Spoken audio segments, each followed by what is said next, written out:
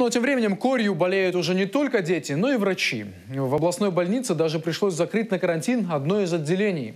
Вирусная инфекция распространилась среди медицинских сотрудников, которые контактировали с зараженными детьми.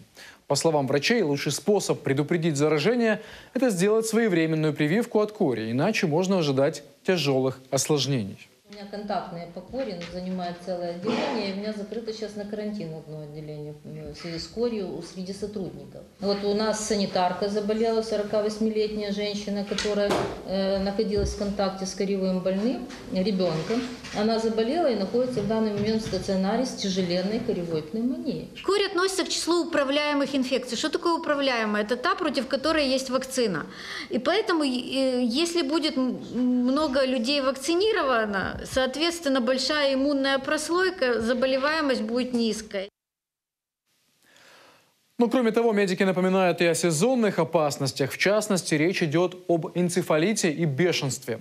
Сейчас в сезон пикников как дети, так и взрослые подвержены укусам клещей и животных. Несмотря на то, что клещевой энцефалит в нашем регионе не распространен, медики все же советуют проверяться. Вот у нас в этом году действительно очень много клещей. Но что делать? Когда вы увидели клеща, вообще лучше всего прийти в приемное отделение, лучше всего либо это инфекционная больница, или отделение экстренной хирургии. Там у вас этот клещ удалят профессионально и положат, так сказать, пробирочку, и вы отнесете его на анализ, так сказать, чтобы посмотреть, насколько он опасен для вас.